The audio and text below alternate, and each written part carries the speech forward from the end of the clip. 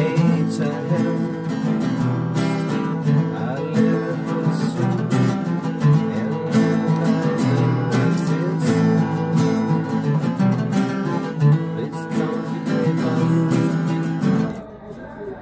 saluto anche da parte mia dal campo di Terabas dove fervono i preparativi per la partenza per, per quello che è il primo corridoio umanitario nato dal basso, nato da un'esperienza di, di, condivisione, di convivenza.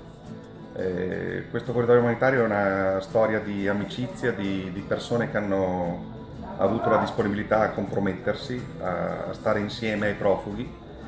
Eh, è una storia di, di persone che, che, non hanno ragionato in termini di numeri, ma in termini di, di, persone. Si sono chieste da dove venivano queste persone che bussano alla nostra porta e hanno deciso di, di andare a vedere, di andare a conoscere le storie, le persone appunto e, e i bisogni che ci sono dietro a questa grande migrazione. 60 milioni di profughi sono un numero.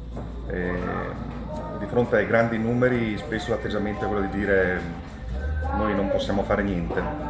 E questo corridoio umanitario dimostra che qualcosa si può fare, eh, però appunto partendo, eh, partendo, dal desiderio di incontrarsi e di conoscersi.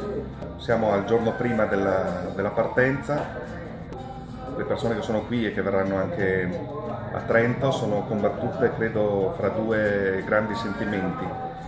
Sentimento sicuramente di gratitudine e di, e di speranza per, perché una comunità come la nostra eh, ha permesso loro di immaginare un futuro per sé e per i propri figli e l'altro sentimento è, è la grande preoccupazione per tutti quelli che rimarranno.